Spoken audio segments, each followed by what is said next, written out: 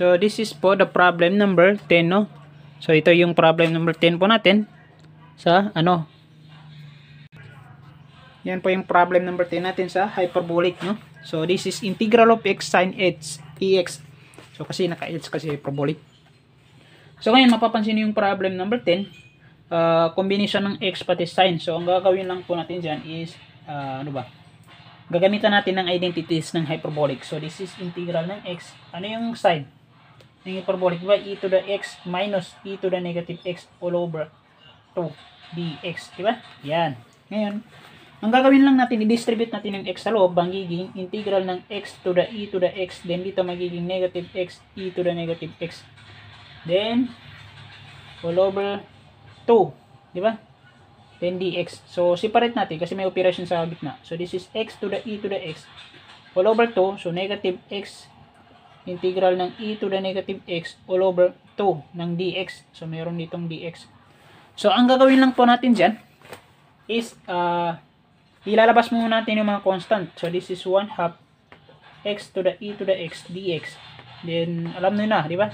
Mahaba to. Bakit? Kasi by parts. Pinakayog sa lahat by parts. So, pagjaga natin yung by parts, dalawang by parts pa naman. So, ito, gawa tayo ng ganito, no? Dalawang by parts. So, u, alam natin, ang u is algebra mauna, x. Then, yung du nito, yung derivative ng x, which is dx. Then, ano yung db, which is yung exponential. Ngayon, dahil maganda, ang kagandahan nito, ang ang db natin is exponential na e to dx. So, kapag in-integrate mo yan, ganun pa rin. So, maganda pag ganun pa rin, no? Hindi mahaba. So, this is, ito naman, pangalawa.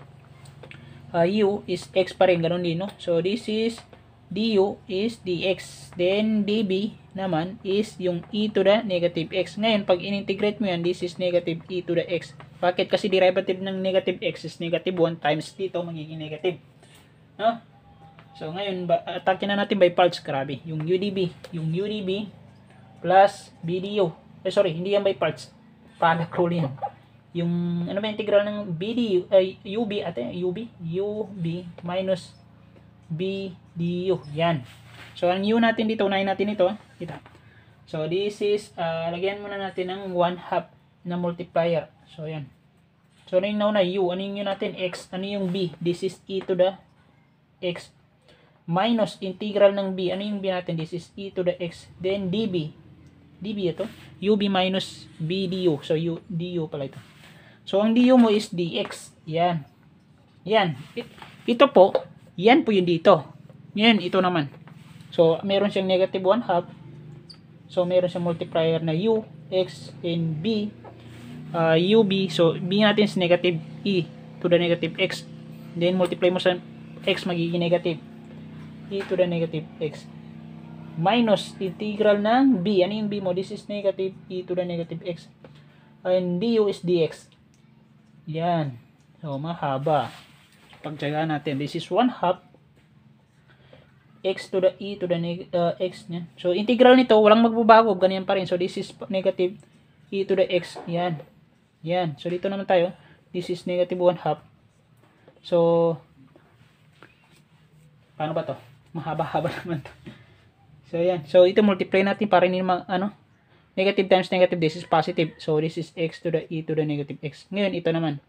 Uh, ito, pag ginawa mo yung integral nito, uh, negative. Di ba? Makuha mo dyan is negative. So, multiply mo natin. Negative times negative, this is positive.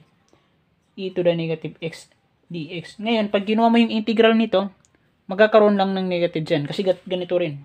Kapag ginawa mo yung integral nito, ng positive na ito, magiging negative. So, ganyan po siya. So, wala na, na-integrate na.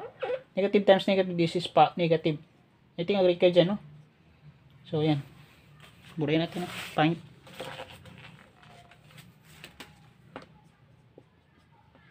Yan.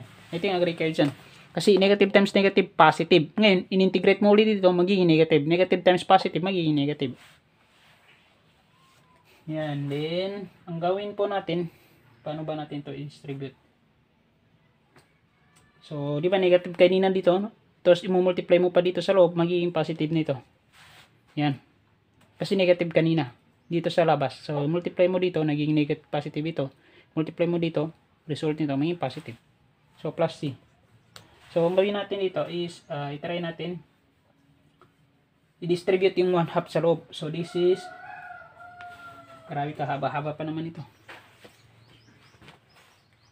So, this is 1 half, 1 half of x, 1 half of x, e to the x plus 1 half of eh, sorry, negative pala ito, no? So, negative, negative, negative 1 half of e to the x. Yan.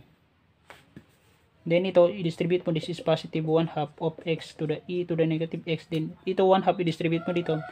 This is positive ng e to the negative x plus c. So, ang gawin natin, i-combine natin yung mga like terms dito. Ano ba yung mga like terms natin dito?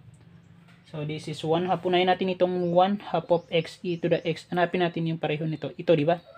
So, ibig sabihin po, mag-add lang po kayo ng another 1 half ng x e to the eh sorry magkaiba pa yan exponent. Magkaiba yan exponent. Pero, pero okay lang kahit magkaiba. So this is negative x.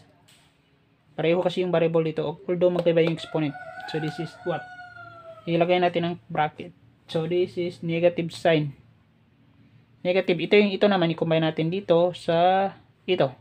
So negative sign ilabas natin. So this is 1 half ng e to the x.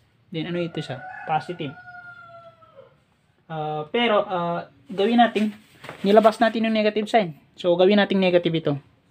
Ito, gawin natin negative. So, this is 1 half of e to the negative x. Bakit siya negative? Kasi negative times negative, this is positive. Negative times po positive 1 half, this is negative. So, pareho lang po. So, ang gawin natin, ilabas natin yung x, factor natin. So, x dito magiging, ano ito? Pag nilabas natin yung x, magiging e to the x. Then, ito, ilabas natin yung x dito. So, magiging positive yung operation. This is e to the negative x all over 2. Siniparate lang po natin kasi common denominator. So, this is negative sign. So, this is e to the x minus e to the negative x. Ilabas natin yung common denominators. I isa lang po. Gawin natin single. So, kung matatandaan nyo po, ang ito, yan po yung hyperbolic ng cosine. Di ba? Yung positive pag cosine yan. Yung negative pang sine. So, this is x to the hyperbolic ng uh, cosine, sorry, sorry, cosine ito. Cosine. Yan, cosine pa. Uh, cosine of x. Then ito, negative sign. So, alam natin, ano yan siya. I-copy muna natin yung negative sign. Uh, sign yan kasi yan dito yun siya, di ba? Nasa problem yan. So, sign yan. So, this is sign ng dito na negative x. Negative x, no? So, negative x oh, sorry sorry. E hyperbolic plus c. So this is the final answer. Problem number 10